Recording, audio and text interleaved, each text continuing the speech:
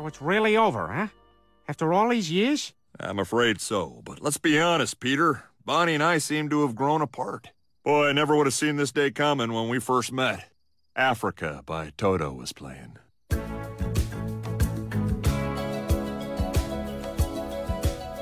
hear the drums echoing tonight, and she hears only whispers of some quiet conversation.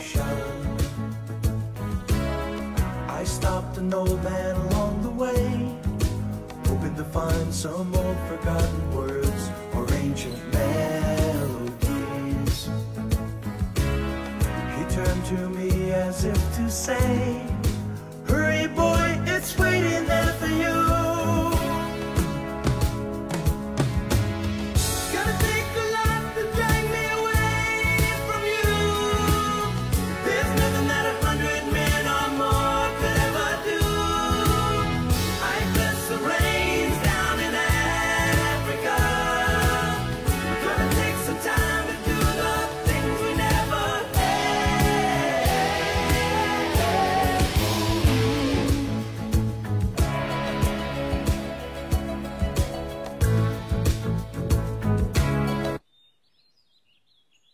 Lois, I know how to get Joe and Bonnie back together. Joe just told me how he and Bonnie met. So I figure all we gotta do is find a way to recreate the magic of that night. Well, we better do something soon, because I just talked to Bonnie and she's already on D-date. What the hell's D-Date? Diarrhea date. It's filthy, but, but she found someone and they're doing whatever they do tomorrow. What the hell's wrong with people? Thanks for inviting me to lunch, Lois, but why are we eating at a strip club? I know the waitress here from Water Aerobics. She said she'd give us 20% off. All units, all units. We have a disturbance at the Fuzzy Clam. This is Officer Swanson. What's the problem? Well, one of the dancers was dancing with a guy and saying, You're my favorite, you're my favorite. But now she's dancing with another guy. That's not a crime. Well, shouldn't it be? I'll be right there.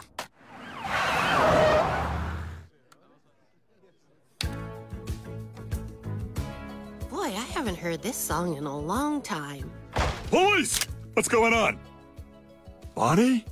Joe? What are you doing here? I'm here with Lois. What are you doing here? I got a call. Is that? Is that Africa by Toto? Yeah, That's our song. it is. tonight.